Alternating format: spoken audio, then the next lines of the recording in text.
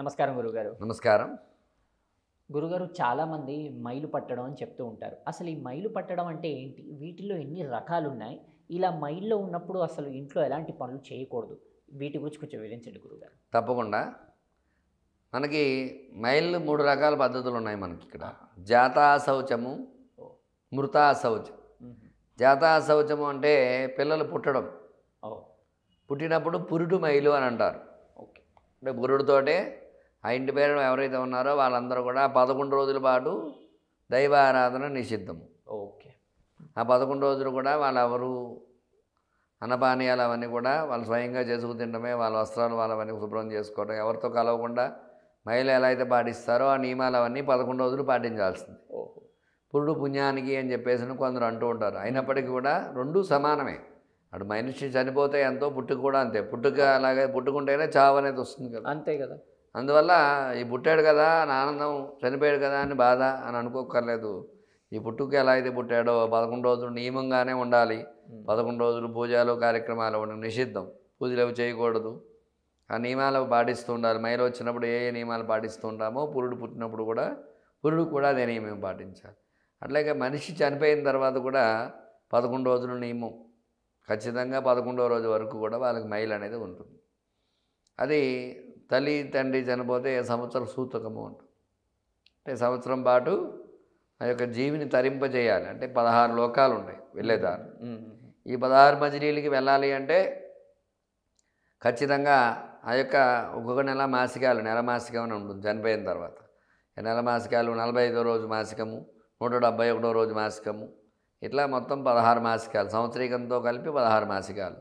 ఈ పదహారు మాసికాలు జరిపించాలి. ఈ పదహారవదే సంవత్సరీకం. ఈ సంవత్సరాంతం వరకు. అంటే సంవత్సరం నిండి రెండో సంవత్సరం అడుగు పెట్టక ముందు వచ్చేటువంటి రోజున సంవత్సరీకము ఉంటుంది. అంటే ఏమిటి? మే ఒకటో తారీఖు చనిపోయారండి మే ఒకటి అని కాదు. తిథుల ప్రకారంగా వెళ్ళాలి దీనికి. తిథి ప్రధానం. అందువల్ల ఆ సంవత్సర సూతకం వాళ్ళకి తల్లిదండ్రి చనిపోతే మాత్రం ఎవరికైనా సరే సంవత్సర సూతకం వరకు కొన్ని నియమాలు పాటించాలి. అది కూడా నిత్యము జరిగేవి ఏవైతే ఉన్నాయో అవే మానక్కర్లే. నిత్య నైమిత్తిక కర్మలు అన్నీ ఆచరించవచ్చు. విశేషంగా పూజలు చేయకూడదు. ఓకే. అంటే నిత్య నైమిత్య కర్మలు అంటే నేను రోజు దీపారాధన చేసుకుంటాం గురువుగారు చేసుకో మానచ్చు దానికి ఏం దోషం. ఇగో మా అత్తగారు మామగారు చనిపోయారు మేము దీపారాధన చేయము అని మానక్కర్లేదు. మానక్కర్లేదు చేసుకో. నిత్య దీపారాధన. చనిపోయిన తర్వాత నెల రోజుల తర్వాత నుంచి నలభై రోజులు దాటిన తర్వాత నుంచి మండల దీక్ష అయిపోతుంది. నిత్యము కర్మ నిత్య నైమిత్య కర్మలని ఆచరించవచ్చు. అట్లాగే విశేషంగా ఏదైనా వ్రతాలు పూజలు చేయకూడదు. వరలక్ష్మి వ్రతము సత్యనారాయణ వ్రతము కేదారేశ్వర వ్రతము ఇట్లాంటివన్నీ ఉంటాయి. ఏదైనా హోమాలు యజ్ఞాలు యాగాలు క్రతువులు ఇట్లాంటివన్నీ వీటిలో కూడా పాల్గొనకూడదు. అవి పాటించడం వల్ల ఏమిటంటే విశేషమైన కర్మలు చేసినట్టు. విశేష కర్మలు చేస్తే వాళ్ళకి అనుకూలాలు తక్కువ ఉంటాయి దానివల్ల దోషాలు వస్తూ ఉంటాయి. అదే అదే మేనమామలు అటువంటి వాళ్ళు ఎవరైనా చనిపోయారు.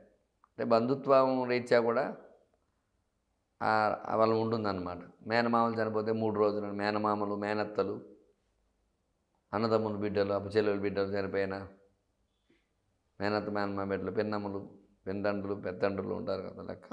దాన్ని బట్టి మన వంశం వారైతేనే పదకొండు రోజులు. మిగతా వాళ్ళు ఎవరైనా కొంచెం బంధుత్వం దగ్గర వారు రక్త సంబంధీకులు అయితే మాత్రం మూడు రోజులు పక్షిని అంటారు పక్షిని. అంటే మూడు రోజులు. మూడు రోజుల పాటు మైలు పాటించాలి.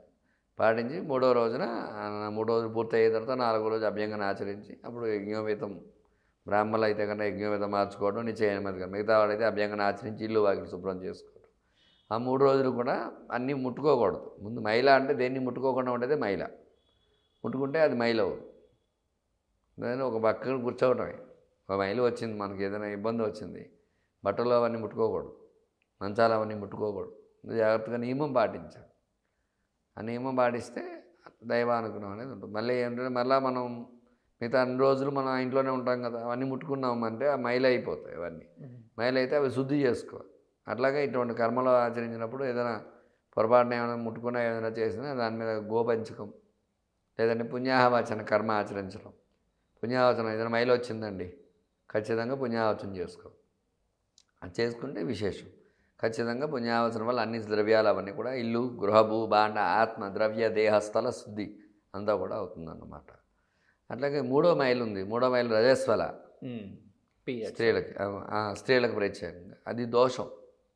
వాళ్ళకి అలా వచ్చిందంటే వాళ్ళకి శాపం అనమాట స్త్రీకి శాపం వల్ల ఆ మూడు రోజులు ముట్టుకోకుండా నియమంగా పాటించాలి.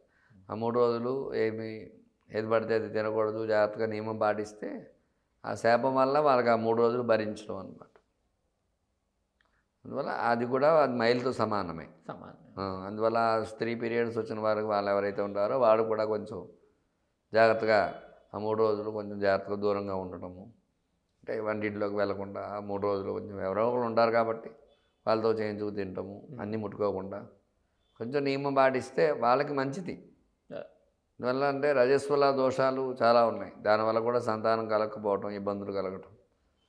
రజస్వల దోషం పూర్వంగా శాపాలు కూడా వస్తూ ఉంటాయి. ఆ శాపాలు అవి రాకుండా ఉండాలంటే ఖచ్చితంగా ఆ నియమాలు పాటించడం. రజస్వలైన వారు ఇంట్లో కలుపుకునే కలిపేసుకుంటూ ఉంటారు చాలామంది. అది అది కలుపుకోవడం అంత ఉత్తమం కాదు. ఆ మూడు రోజులు ఎంతసేపు కళ్ళు మూసి తెరిచాలో మూడు రోజులు అయిపోతుంది. ఆ మూడు రోజులు మనం కాదనుకోవటం. మూడు రోజులు కొంచెం నియమంగా ఉంటాం. చేసుకుని నాలుగో రోజు తలస్నానం చేసి ఇంట్లోకి రావచ్చు. అట్లా చేసుకుంటే ఆ గదిలో వరకునే పరిమితం చేసుకుని కొంచెం ఆ మూడు రోజులు భర్త హెల్ప్ తీసుకోవటం సాయం. ఎందుకంటే మిగతా రోజులు ఇరవై ఏడు రోజులు కష్టపడుతుంది. ఆ మూడు రోజులు భర్త చేసి పెట్టాల్సిన బాధ్యతే భర్త. అంతే అంతే అందువల్ల ఖచ్చితంగా ఆ నియమాలు పాటిస్తే వాళ్ళకి ఆ ఇంట్లో లక్ష్మీదేవి కూడా అనుగ్రహం. కొన్ని కొన్ని నియమాలు మనం పాటిస్తేనే దైవ బలం అనేది మనకు వస్తుంది. అందువల్ల ఆ మూడు రోజులు కలుపుకోకుండా జాగ్రత్తగా ఉండడం ఒక విశేషం. ఈ రకంగా మూడు రకాల మైళ్ళు అనేవి ఉన్నాయి? ఒకవేళ అలాంటి వాళ్ళు ఇప్పుడు ఏదైనా స్వాములు కానీ లేదంటే దీక్షలు తీసుకునేవారు అలాంటి వాళ్ళని చూసినా లేదా స్నానాలు ఆచరించడం అనేది. ఎందువల్ల? మైలు కాబట్టి.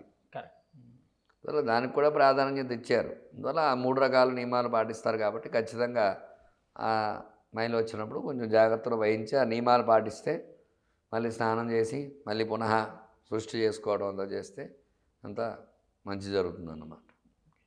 చాలా చక్కగా వివరించారు గురుగారు. ధన్యవాదాలు. ధన్యవాదాలు. చిక్కని రహస్యాలు మరెన్నో మనకి తెలియని పురాతన కట్టడాలు వాటి వెనక దాగిన నిజాలు పూర్వీకుల ఆచారాలు మరెన్నో మూఢ విశ్వాసాలు. ఇలా కాలగర్భంలో కలిసిపోతున్న రహస్యాల కొరకు సబ్స్క్రైబ్ చేయండి రహస్యవాణి ఛానల్.